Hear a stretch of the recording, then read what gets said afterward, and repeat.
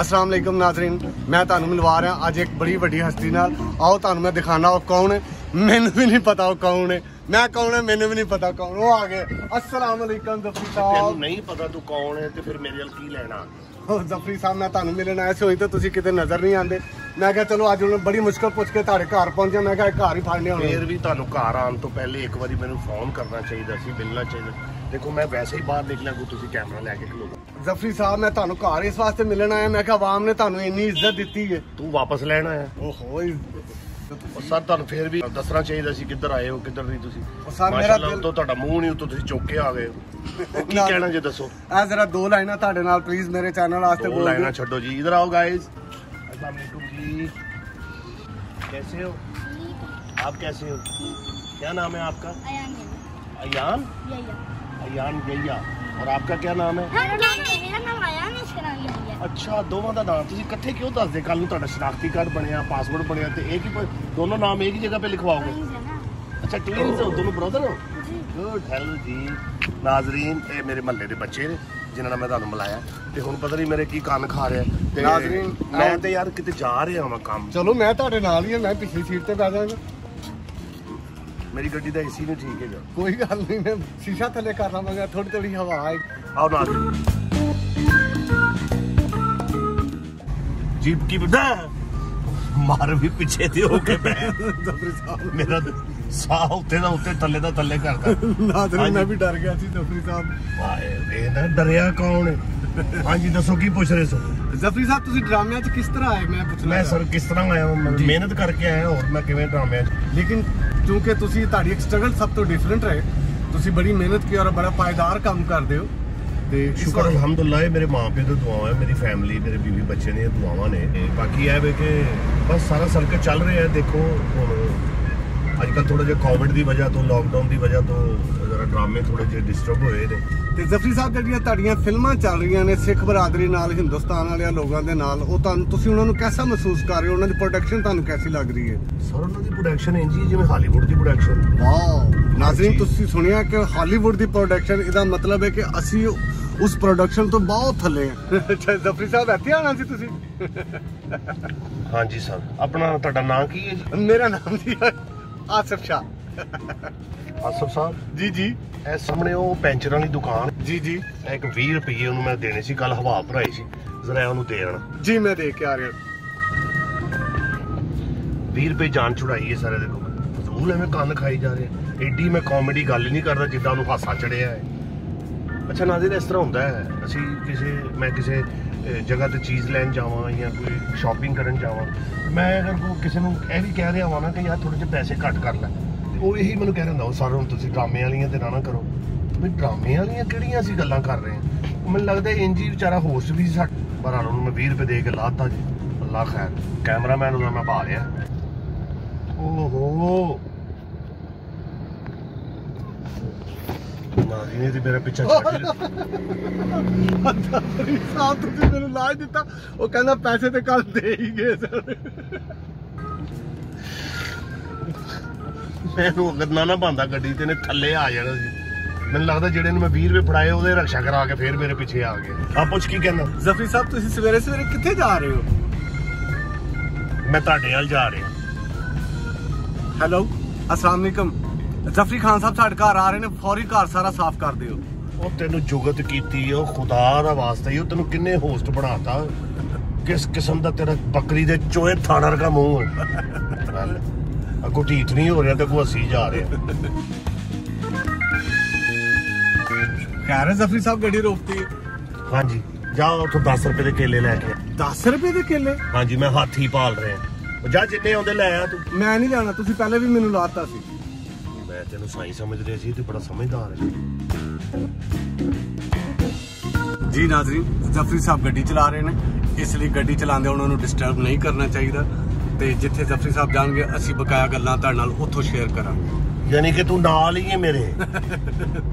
ਸਮੋਸੇ ਖਿਲਾਣੇ ਤੁਸੀਂ ਬਾਰਿਸ਼ ਹੋ ਰਹੀ ਬਾਹਰ। ਉਹ ਬਾਰਿਸ਼ ਤੇ ਹੋ ਰਹੀ ਹੈ ਤੇ ਮੈਂ ਤੇ ਹੈਰਾਨ ਇਸ ਗੱਲ ਤੋਂ ਹਾਂ ਕਿ ਅੱਲਾਹ ਪਾਕ ਨੇ ਤੈਨੂੰ ਏਡੀ ਸਮਝ ਵਾਲੀ ਗੱਲ ਕਿਵੇਂ ਦਿੱਤੀ। ਨਾਜ਼ਰੀਨ ਪਿਛਲੇ ਅੱਧੇ ਘੰਟੇ ਤੋਂ ਮੈਂ ਇਸ ਗੱਲ ਦੀ ਟੈਨਸ਼ਨ 'ਚ ਹੈਗਾ ਕਿ ਮੈਂ ਗੱਡੀ ਚਲਾ ਰਿਹਾ ਤੇ ਇੰਟਰਵਿਊ ਕਰੀ ਜਾ ਰਿਹਾ।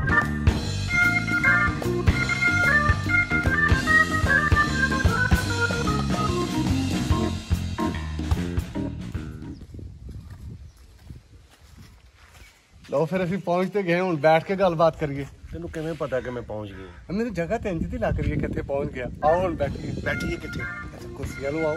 ਕੋਈ ਕੁਰਸੀ ਨਹੀਂ ਹੈਗੀ ਇੱਥੇ। ਬਿਲਕੁਲ ਕੁਰਸੀ ਨਹੀਂ ਹੈ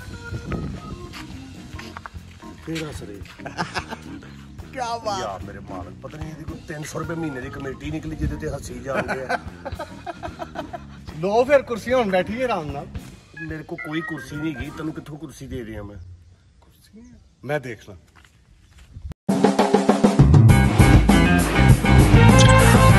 ਕੁਰਸੀ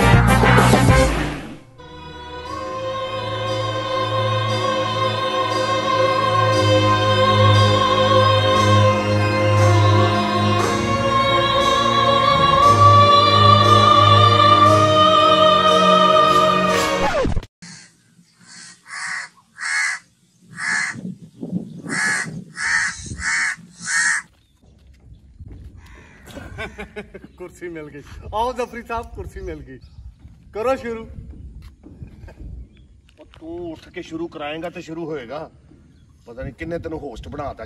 ਮੈਨੂੰ ਲੱਗਦਾ ਤੂੰ ਟਲਣਾ ਨਹੀਂਗਾ ਉਹ ਮੁੰਡਿਆ ਲਿਆ ਕੁਰਸੀ ਓਏ। ਜੀ ਜ਼ਫਰੀ ਸਾਹਿਬ ਤੁਹਾਡਾ ਨੈਕਸਟ ਫਿਊਚਰ ਕੀ ਪਲਾਨ ਹੈ? ਪਲਾਨ ਕੀ ਹੈ? ਬਸ ਇੱਕ ਮੂਵੀ ਪੰਜਾਬੀ ਪਾਕਿਸਤਾਨੀ ਮਤਲਬ ਸ਼ੁਰੂ ਕਰ ਰਹੇ ਹਾਂ ਉਹਦਾ ਸਕ੍ਰਿਪਟ ਮੁਕੰਮਲ ਹੈ। ਮਤਲਬ ਬਾਕੀ ਉਹਦੇ ਤੇ ਵੀ ਸਾਰੇ ਵਰਕਿੰਗ ਹੋ ਗਈ। ਸਿਰਫ ਇਹ ਕਿ ਕੋਈ ਅੱਛਾ ਇਨਵੈਸਟਰ ਅਗਰ ਮਿਲ ਗਿਆ ਤੇ ਜ਼ਰਾ ਜਲਦੀ ਬਣ ਜਾਏਗੀ। ਨਹੀਂ ਤੇ ਮੈਂ ਤੇ ਫਿਰ ਹੌਲੀ ਹੌਲੀ ਬਣਾ ਹੀ ਦਿਆਂ। ਤੇ ਜ਼ਫਰੀ ਸਾਹਿਬ ਫਿਲਮ ਦੀ ਥੀਮ ਜਿਹੜੀ ਹੈ ਉਹਦੇ ਚ ਮੈਂ ਨਾਲ ਤੁਹਾਡੇ ਖਲੋ ਕੇ ਹੀਰੋ ਨਹੀਂ ਆ ਸਕਦਾ। ਨਹੀਂ ਹੀਰੋ ਹੀ ਹੋ ਤੁਸੀਂ ਫਿਲਮ ਦੇ। ਅੱਛਾ ਸਟਾਰਟ ਫਿਲਮ ਸ਼ੁਰੂ ਹੋਈ ਹੈ। ਵਾਹ। ਤੇ ਪਹਿਲੇ ਸੱਟੇ ਹੀ ਇੱਕ ਬੰਦੇ ਨੂੰ ਗੋਲੀ ਵੱਜੀ ਹੈ। ਉਹ ਮਰਿਆ। ਜੀ। ਫਿਰ ਅੱਗੋਂ ਦਾ ਜਿਹੜਾ ਛੋਟਾ ਭਰਾ ਹੈ ਯਾਨੀ ਕਿ ਮੈਂ ਉਹ ਫਿਰ ਆਪਣੇ ਭਰਾ ਦਾ ਬਦਲਾ ਲੈਂਦਾ। ਬਸ ਤੁਹਾਡਾ ਇੰਨਾ ਹੀ ਰੋਲ ਹੈ। ਉਹ ਜਿਹੜਾ ਮਰਿਆ ਮੈਂ ਨਹੀਂ ਮੈਂ ਤੈਨੂੰ ਹੀ ਮਾਰਨਾ ਮੈਂ ਜਿਹੜਾ ਸਵੇਰ ਦਾ ਤੂੰ ਮੇਰੇ ਪਿੱਛੇ ਪਿਆ ਨਾ ਕੁਝ ਖਾਣ ਦਿੱਤਾ ਨਾ ਪੀਣ ਦਿੱਤਾ। ਨਾਜ਼ਰੀ ਫਿਲਮ ਸ਼ੁਰੂ ਹੋਈ ਤੇ ਮੈਂ ਮਾਰੇ ਵੀ ਗਿਆ। ਲੇਕਿਨ ਜ਼ਫਰੀ ਸਾਹਿਬ ਤੁਸੀਂ ਇਹ ਦੱਸੋ ਕਿ ਤੁਹਾਡੀ ਜਿਹੜੇ ਥੀਏਟਰ ਦੀ ਪ੍ਰੋਡਕਸ਼ਨਸ ਨੇ ਉਹ ਕੈਸੀਆਂ ਜਾ ਰਹੀ ਹੋ ਔਰ ਤੁਹਾਡੇ ਬਾਅਦ ਕੋਈ ਸੁਪਰਸਟਾਰ ਕਿਉਂ ਨਹੀਂ ਆਇਆ? ਜ਼ਫਰੀ ਖਾਨ ਦੇ ਬਾਅਦ ਕੋਈ ਸੁਪਰਸਟਾਰ ਨਹੀਂ ਹੋਇਆ ਇਹਦੀ ਕੀ ਵਜ੍ਹਾ? ਸ਼ਾਹ ਜੀ ਇਹਦੀ ਵਜ੍ਹਾ ਇਹ ਵੇ ਕਿ ਟਾਈਮ ਜਿਹੜਾ ਥੋੜਾ ਜਿਹਾ ਸ਼ਾਰਟ ਹੋ ਗਿਆ ਡਰਾਮਿਆਂ ਦਾ। ਠੀਕ ਹੈ। ਜ਼ਿਆਦਾ ਲੈਂਥੀ ਟਾਈਮ ਸੀ ਸਾਡੇ ਕੋਲ। ਠੀਕ ਹੈ ਜੀ। ਥੋੜਾ ਜਿਹਾ ਟਾਈਮ ਸ਼ਾਰਟ ਹੋ ਗਿਆ ਉਹਦੀ ਵਜ੍ਹਾ ਤੋਂ ਉਹ ਜਿਹੜੇ ਆਲਰੇਡੀ ਆਰਟਿਸਟ ਕੰਮ ਕਰਦੇ ਨੇ ਜੀ। ਉਹਨਾਂ ਦੇ ਹਿੱਸੇ ਵੀ ਘੱਟ ਘੱਟ ਟਾਈਮ ਆਉਂਦਾ ਠੀਕ ਤੇ ਇਸ ਕਰਕੇ। ਕੀ ਜ਼ਫਰੀ ਸਾਹਿਬ ਤੁਹਾਡੇ ਵਾਲਾ ਆਇਆ ਤੇ ਫਿਰ ਖਾਣ ਨੂੰ ਕਰੇਲੇ ਗੋਸ਼ਤ ਹੋਣਗੇ। ਤੇਰਾ ਮੂੰਹ ਹੈ ਕਰੇਲੇ ਗੋਸ਼ ਖਾਣ ਵਾਲਾ। ਫਨਕਾਰਾਂ ਨੂੰ ਕਰੇਲੇ ਗੋਸ਼ਤ ਪਸੰਦ ਬੜੇ ਤੁਸੀਂ ਕਿਉਂਕਿ ਇੱਕ ਮਾਇਆ ਨਾਥ ਫਨਕਾਰ ਹੋ ਇਸ ਲਈ ਮੈਂ ਕਿਹਾ ਕਿ ਅੱਛਾ ਮੈਨੂੰ ਤਾਂ ਕਰੇਲੇ ਗੋਸ਼ ਪਸੰਦ ਹੀ ਨਹੀਂ। ਮੈਂ ਕਰੇਲੇ ਗੋਸ਼ ਖਾਂਦਾ ਹੀ ਨਹੀਂ। ਅੱਛਾ ਜੀ। ਹਾਂਜੀ। ਤੇ ਸੁਣਿਆ ਫਨਕਾਰ ਤੇ ਬਹੁਤ ਕਰੇਲੇ ਗੋਸ਼ਤ ਖਾਂਦੇ ਨੇ। ਸਰ ਹਰ ਬੰਦੇ ਦੀ ਆਪਣਾ ਆਪਣਾ ਸਿਸਟਮ ਹੁੰਦਾ ਹੈ ਹਰ ਬੰਦੇ ਦਾ ਆਪਣਾ ਹਿਸਾਬ ਹੁੰਦਾ ਹੈ। ਮੈਨੂੰ ਬੁੱਤ ਕਰੇਲੇ ਪਸੰਦ ਨੇ ਜਿਹਦੇ ਵਿੱਚ ਕੀਮਾ ਭਰ ਕੇ ਤੇ ਧਾਗਾ ਲਪੇਟੀਦਾ। ਵੈਸੇ ਮੈਨੂੰ ਪਸੰਦੀਦਾ ਮੇਰਾ ਸ਼ਲਜਮ ਗੋਸ਼ ਸ਼ੋਰਬੇ ਵਾਲਾ ਤੇ ਨਾਲ ਚਿੱਟੇ ਚਾਵਲ। ਵਾਹ ਸ਼ਲਗਮ ਗੋਸ਼ਤ ਤੇ ਚਿੱਟੇ ਚਾਵਲ। ਦਾਲਾਂ ਦੇ ਵਿੱਚ ਮਾਂ ਛੋਲਿਆਂ ਦੀ ਦਾਲ ਵਾਹ। ਤੇ ਨਾਲ ਤੜਕੇ ਵਾਲੇ ਚਾਵਲ। ਪੰਜਾਬ ਦੀ ਸ਼ਾਨ ਮਾਂ ਛੋਲਿਆਂ ਦੀ ਦਾਲ ਨਾਲ ਤੜਕੇ ਵਾਲੇ ਚਾਵਲ। ਕੀ ਬਾਤ ਹੈ। ਤੇ ਜ਼ਫਰੀ ਸਾਹਿਬ ਉਹ ਹੋਰ ਕੁਝ ਮੰਗਾਵਾਂ ਤੁਹਾਡੇ ਲਈ ਖਾਣ ਨੂੰ? ਹਾਂਜੀ ਮੰਗਾ ਲਓ। ਤੇ ਜਿਹੜਾ ਪਹਿਲੇ ਖਾਦਾ ਸੀ ਉਹ ਹਜ਼ਮ ਵੀ ਕਰ ਲਿਆ ਏਡੀ ਛੇਤੀ। ਤੁਹਾਨੂੰ ਪਤਾ ਹਲਦੇ ਮੈਂ ਕੁਝ ਖਾਦਾ ਨਹੀਂ। ਮੰਗਵਾ ਰਹੇ ਨੇ ਬਾਰਿਸ਼ ਦਾ ਮੌਸਮ ਹੈ ਪਕੌੜੇ ਸਮੋਸੇ ਇਹਨਾਂ ਦੇ ਇੱਥੋਂ ਬਹੁਤ ਮਿਲਦੇ ਨੇ ਮਜ਼ੇਦਾਰ। ਇਹ ਤੇਰੀ ਸਾਰੀ ਜ਼ਿੰਦਗੀ ਖੁਆਇਸ਼ ਹੀ ਰਹਿ ਜਾਣੀ ਹੈ। ਯਾਰ ਤੇਰਾ ਵੈਸੇ ਆਪਸ ਦੀ ਗੱਲ ਹੈ ਤੈਨੂੰ ਕਿਉਂ ਲੱਗਦਾ ਨਹੀਂ ਤੂੰ? ਅੱਛਾ ਇਹ ਵਾਹਦ ਮੂੰਹ ਹੈ ਜਿਹੜਾ ਚਿੱਟੇ ਰੰਗ ਨਾਲ ਹੋ ਕੇ ਵੀ ਤੇ ਬਿਲਕੁਲ ਹੀ ਇੰਜ ਲੱਗਦਾ ਜਿਵੇਂ ਕਸਾਈ ਦੀ ਛੋਟੀ ਜੀ ਮੁੱਢੀ ਨਹੀਂ ਹੁੰਦੀ ਜਿਹਦੇ ਤੇ ਸਿਰਫ ਬਿੱਲੀ ਵਾਸਤੇ ਕੀਮਾ ਬਣਾਉਂਦਾ। ਉਹਦੇ ਵਰਗਾ ਮੂੰਹ ਹੈ ਤੇਰਾ। ਬਿੱਲੀ ਵਾਸ ਆ ਬਿਲਕੁਲ ਸਹੀ ਕਰ ਰਹੇ ਨੇ ਅੱਛਾ ਇਹਨੂੰ ਜੁਗਤਾਂ ਕਰਨ ਦਾ ਕੋਈ ਫਾਇਦਾ ਨਹੀਂ, ਕਿਉਂਕਿ ਐਡਾ ਕੂੜੇ ਆਪ ਹੀ ਹੱਸੀ ਜਾਂਦਾ, ਬੰਦਾ ਹਲਕਾ ਜਿਹਾ ਤੇ ਐ ਕਰੇ ਨਾ। ਮੈਂ ਆਨਾ ਥੋੜੀ ਦੇਰ ਤੱਕ।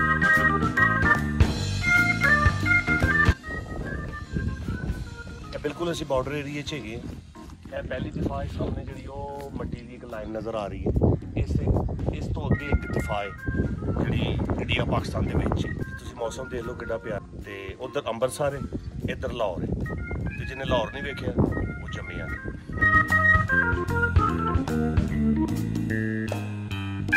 ਜੀ ਤੁਹਾਨੂੰ ਮੈਂ ਕਿਹਾ ਸੀ ਨਾ ਜ਼ਫਰੀ ਸਾਹਿਬ ਕੋਲ ਆ ਕੇ ਕੋਈ ਬੰਦਾ ਭੁੱਖਾ ਨਹੀਂ ਰਹਿ ਸਕਦਾ। ਕੁਝ ਪਕਾ ਰਹੇ ਨੇ। ਆਓ ਅਸੀਂ ਉਹਨਾਂ ਕੋਲੋਂ ਪੁੱਛਦੇ ਹਾਂ ਕੀ ਪਕਾ ਰਹੇ ਹੋ ਮੇਰੇ ਲਈ? ਸਰ ਮੈਂ ਤੁਹਾਡੇ ਲਈ ਨਹੀਂ ਮੈਂ ਆਪਣੇ ਲਈ ਪਕਾ ਰਿਹਾ। ਤੇ ਨਾਲ ਤੁਸੀਂ ਵੀ ਖਾ ਲੈਣਾ। ਨਾਜ਼ਰੀਨ ਮੈਂ ਪਕਾ ਰਿਹਾ ਦੇਸੀ ਮੁਰਗਾ। ਔਰ ਇਹ ਦੇਖੋ ਲਸਣ ਅਦਰਕ ਟਮਾਟਰ।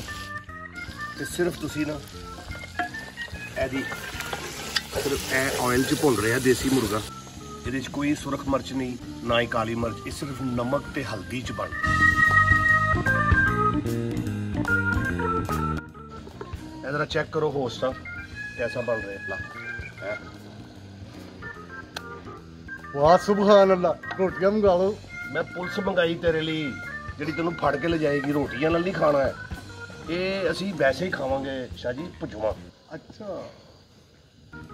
ਐ ਕੀ ਕਰਨ ਲੱਗੇ ਹੋ ਜਫਰੀ ਸਾਹਿਬ?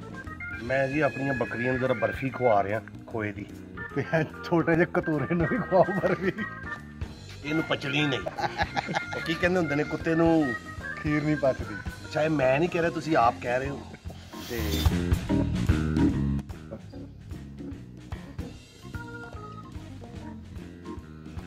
ਸੁਭਾਨ ਅੱਲਾ ਖਾਨ ਸਾਹਿਬ ਅੱਲਾ ਤੁਹਾਨੂੰ ਬਹੁਤ ਰਿਜ਼ਕ ਕਰੇ। ਨਾਜ਼ੀਨ ਆਖਰਕਾਰ ਨੇ ਰੋਟੀ ਖਾ ਕੇ ਛੱਡੀ ਇਹ ਮੈਂ ਬਣਾਇਆ ਹੈ, ਤੁਹਾਨੂੰ ਦੱਸਿਆ ਸੀ ਕੀ ਬਣਾਇਆ। ਜੀ ਨਾਜ਼ਰੀਨ ਬਹੁਤ ਸ਼ੁਕਰੀਆ।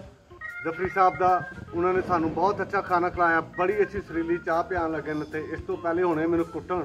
ਮੈਂ ਇਜਾਜ਼ਤ ਚਾਹਨਾ ਖਾਨ ਸਾਹਿਬ ਬਹੁਤ ਸ਼ੁਕਰੀਆ ਤੁਹਾਡਾ। ਤੁਸੀਂ ਮੇਰੇ ਜੇ ਮਸਕੀਨ ਆਦਮੀ ਨੂੰ ਬਰਦਾਸ਼ਤ ਕੀਤਾ। ਬਹੁਤ ਸ਼ੁਕਰੀਆ ਤੁਹਾਡਾ। ਇਹ ਬਿਲਕੁਲ ਸਹੀ ਕਿਹਾ। ਇਹਨੂੰ ਮੈਂ ਹੁਣ ਕੁੱਟਣਾ ਚਲ ਮੈਂ ਹੁਣ ਕੁੱਟਣਾ ਸੀ। ਤੇ ਜਾਂਦੇ ਜਾਂਦੇ ਤੇਰਾ ਵਕੀਲ ਸਾਹਿਬ ਕੋ ਦੋ ਬੋਲ ਸੁਣ ਲਈਏ ਸਾਡੇ ਡੇਰੇ ਤੇ ਆਉਂਦੇ ਨੇ ਅੱਲਾਹ ਪਾਕ ਇਹਨਾਂ ਨੂੰ ਜ਼ਿੰਦਗੀ ਤੰਦਰੁਸਤੀ ਦੇਵੇ ਜੀ दिन ਵਕੀਲ ब दिन बढ़ती गई इस हुस्न की रानाइयाँ दिन ब दिन बढ़ती गई इस हुस्न की रानाइयाँ पहले गुल फिर गुल बदन फिर गुल बदाना हो गए